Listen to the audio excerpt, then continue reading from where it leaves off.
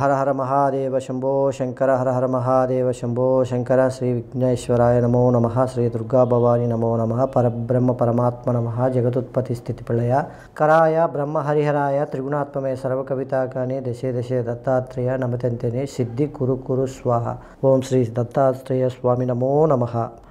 భర్త భార్యల యొక్క అన్యోన్యత కోల్పోయి వారి యొక్క దాంపత్యంలో సుఖ సంసార విషయంలో సంతానం విషయంలో ఎన్నో విభేదాలు కలుగుతూ మనశ్శాంతి కోల్పోయి భర్త భార్యలు విడాకుల వరకు కోర్టుకు మెట్లెక్కేంత వరకు తెచ్చుకొని వారు మనశ్శాంతిగా జీవించలేకోకుండా ఇప్పుడు జరుగుతున్న విధానంలో చూస్తున్న ప్రభావము.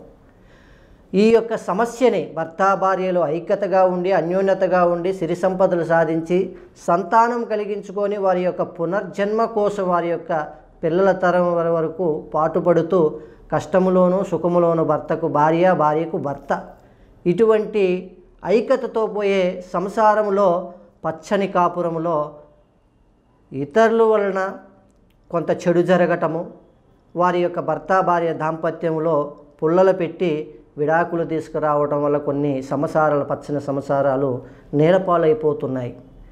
ఇటువంటి వాటికి ఆ దైవ సంకల్పన వల్ల ఆ అర్ధనారీశ్వరుడి యొక్క కృప వల్ల ఆ శివనారాయణ ఆ విష్ణుమూర్తి యొక్క ప్రభావంతో ఈశ్వరుడి యొక్క అనుగ్రహంతో అర్ధనారీశ్వ భార్యకి ఈశ్వరుడు అర్ధభాగం ఇచ్చినట్టుగా ఆ శంకరుడు అలాగే మీ భర్త భార్య అంటే భర్త గారి దేహంలో మీకు సగభాగం మీకు అందుకునేటట్టుగా భర్త గారి యొక్క ప్రీతి మీకు ఉండేటట్టుగా భర్త భర్తగారి భర్త గారి యొక్క అనురాగం మీకు దక్కేటట్టుగా ఇతరులు ఏది చేసినా ఆయన పట్టించుకోకుండా ఉండాలంటే ప్రతి ఒక్క స్త్రీ ఉదయాన్నే బ్రహ్మముహూర్తములో లేచి సోమవారము మంచి విధితో ఉన్నవట్టి సోమవారము తలస్థానము చేసి మీ కుటుంబం కొరకు మీ సంసారం కొరకు మీ పిల్లల కొరకు ఎన్నో కష్టాలు పడుతున్నారు.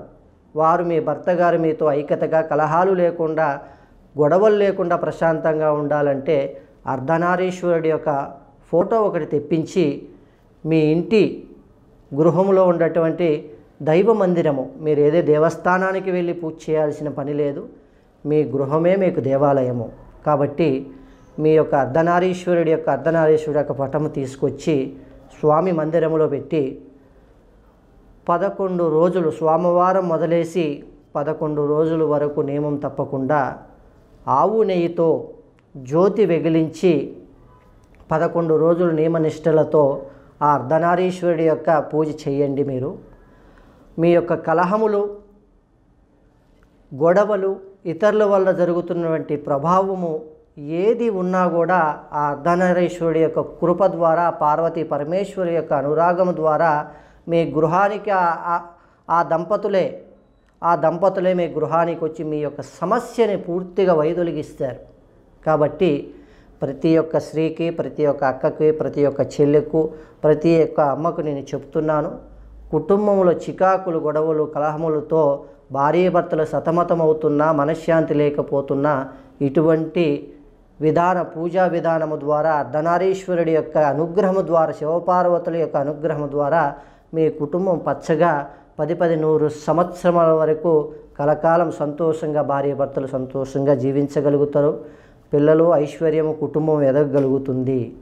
ఇటువంటి పరిష్కార మార్గము మీ మీ చేతుకుంటా మీ ఇంటి ద్వారా మీరు చేసి పదకొండు రోజుల నియమం తప్పకుండా ఆవు జ్యోతి వెగిలించి చేయండి. మీ యొక్క భర్త భార్యల ఐక్యత మీకు సంపూర్ణంగా మీ సమస్య పరిష్కారం అవుతుంది అలాగే మీ యొక్క కుటుంబ సంసార విధానంలో ఎటువంటి సమస్యలున్నా ఎటువంటి అవకతవకలున్నా మమ్మల్ని సంప్రదించి మీ యొక్క సందేహాలను మీ యొక్క సమస్యలను తెలుసుకొని ఆ సమస్యలకు శాశ్వత పరిష్కారము మా ద్వారా మీకు పరిష్కారం చూపించగలుగుతాము.